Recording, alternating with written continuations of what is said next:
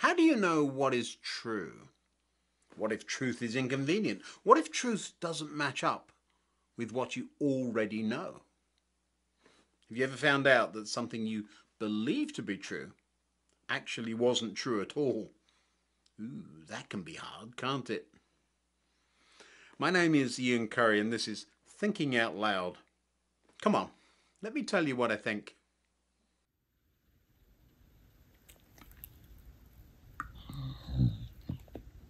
You might know I have a dog. His name is Sparky and he loves having his ears rubbed. Now, most dogs don't really like you messing with their ears, but Sparky loves it. And once you start stroking his ears, he'll snuggle, and some say he even purrs like a cat. If you stop, he'll push his head against your leg and follow you around until you give him some more attention. He has another habit, a rather naughty habit I'm trying to discourage. If you happen to be drinking a nice cup of tea with friends, he'll go from one person to the other and see if someone will give him a piece of whatever it is they're eating with their tea.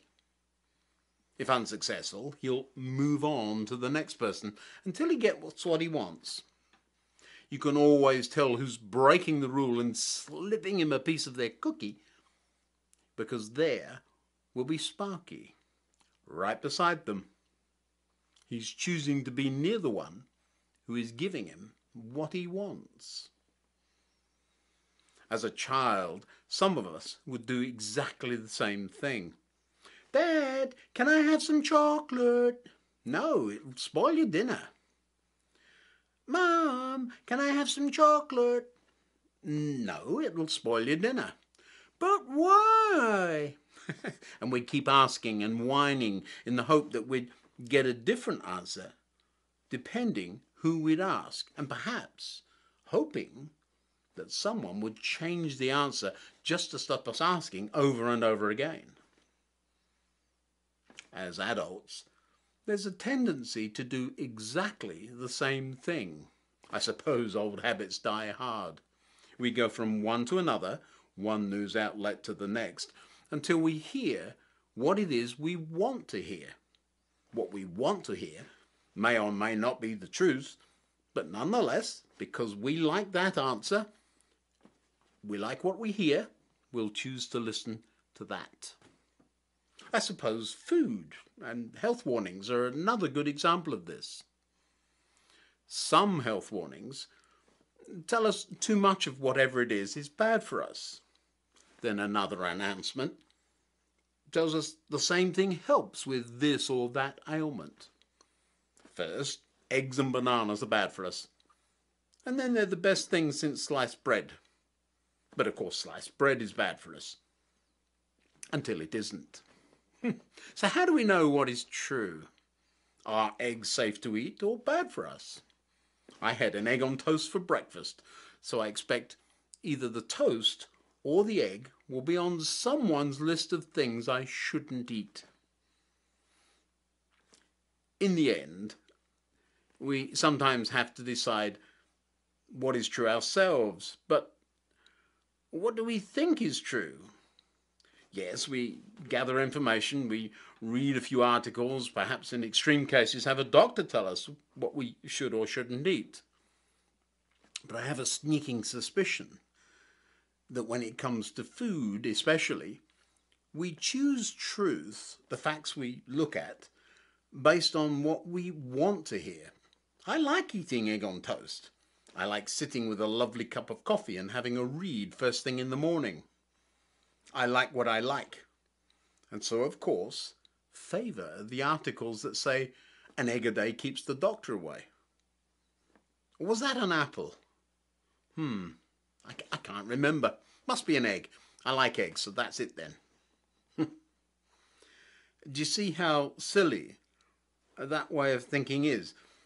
It seemed very innocent and not very important, but I was choosing truth, wasn't I? Listening to things we like and then pretending those things are true is very silly, but so easy to do. It's just like Sparky coming to me and wanting his ears rubbed. Now, as always, this is nothing new at all. Paul warned Timothy of this very thing long ago. For a time is coming when people will no longer listen to sound and wholesome teaching. They will follow their own desires and will look for teachers who will tell them whatever their itching ears want to hear. They will reject the truth and chase after myths. Do you see how it works? I'm sure you do. These days there are so many strange new ways of thinking. There's certainly a tendency for people to choose what suits their way of thinking and listen only to that. Whatever their itching ears want to hear. Just because everyone I know says one thing does not mean that that one thing is true. Who are you listening to?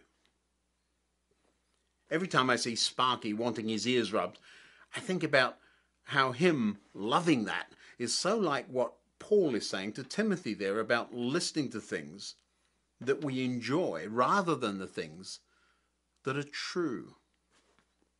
Now, so far, I've only pointed out the problem. If we're honest, we probably already know that problem. There are so many examples of it these days, aren't there? What's the answer, though? How do we actually know what is true? What is truth? And does it even matter? well, of course it does. Somewhere along the way, instead of listening to what we like to hear and letting others define truth, we have to turn to a known standard, an absolute.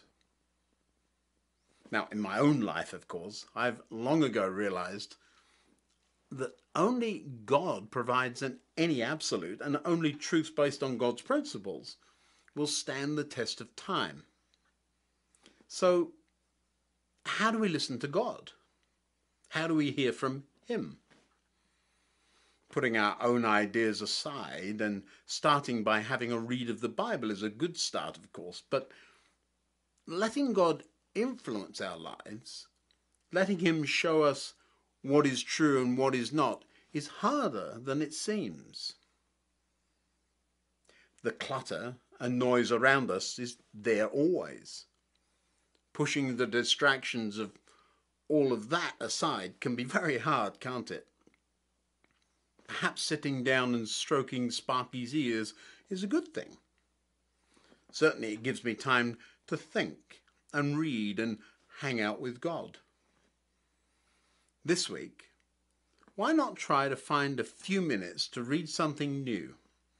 Something that you know to be true but perhaps don't enjoy quite as much as that favourite ear tickling news station. Until next time. Goodbye.